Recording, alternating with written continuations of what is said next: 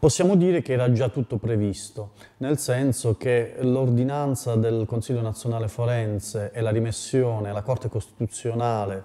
della questione relativa alla conformità della norma interpretativa della Cassazione rispetto ai principi della Cassazione non stupisce affatto. Infatti tutti noi sappiamo che all'indomani del, uh, della sentenza della Corte di Cassazione l'avvocatura istituzionale più conservatrice aveva cercato di porre in essere una strategia che tendesse a vanificare la portata del principio.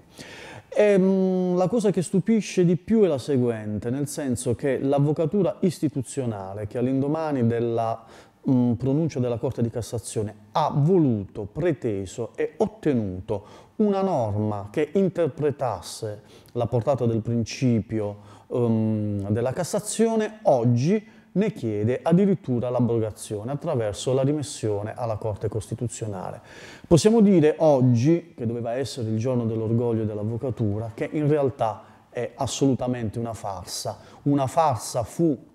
l'acclamazione della mozione dell'avvocato in Costituzione a Catania, una farsa può essere anche eh, l'ordinanza del Consiglio nazionale forense. Sbigottisce soprattutto anche la circostanza che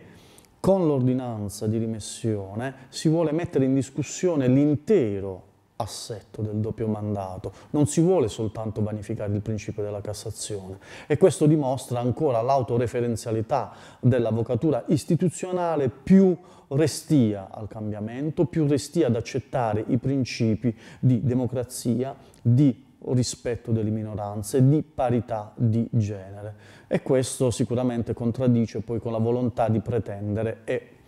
chiedere alla politica e al legislatore l'affermazione dell'avvocato in Costituzione. L'effetto è devastante perché adesso con la rimessione alla Corte Costituzionale tutti coloro che potevano ritenersi incandidabili o ineleggibili si candideranno, vanificando l'effetto e la portata tanto del principio della Cassazione quanto della norma introdotta con la legge di conversione eh, del decreto semplificazioni e quindi di fatto impedendo il ricambio.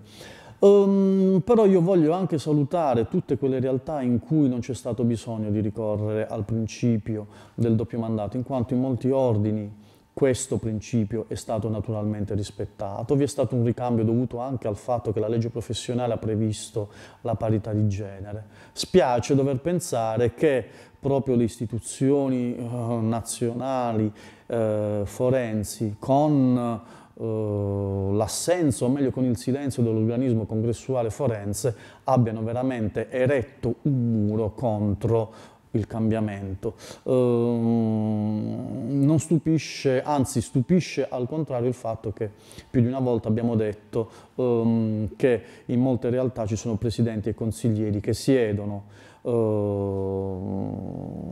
in consiglio appunto da 10, 12, 14 anni e dobbiamo dire che è l'ennesima prova di un messaggio non positivo innanzitutto lanciato all'avvocatura. E non capisco come ci si possa avvicinare ad una sessione straordinaria, ad un'ulteriore sessione del congresso, muovendo da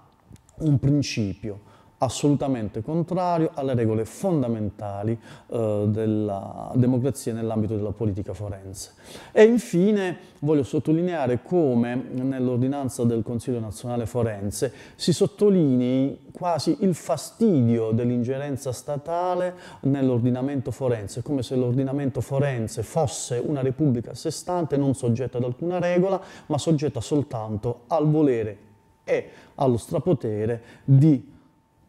alcuni soggetti e alcuni colleghi che siedono nelle istituzioni. Ripeto, non è un bel messaggio, eh, dovremo attendere la pronuncia della Corte Costituzionale, ma nel frattempo passeranno degli anni, si tornerà nuovamente dinanzi alle sezioni unite della Cassazione e così chi voleva ottenere il risultato di sedersi e far passare il tempo l'ha ottenuto. È una brutta pagina che proprio stride con la giornata dell'orgoglio dell'avvocatura che fortunatamente oggi è stata annullata.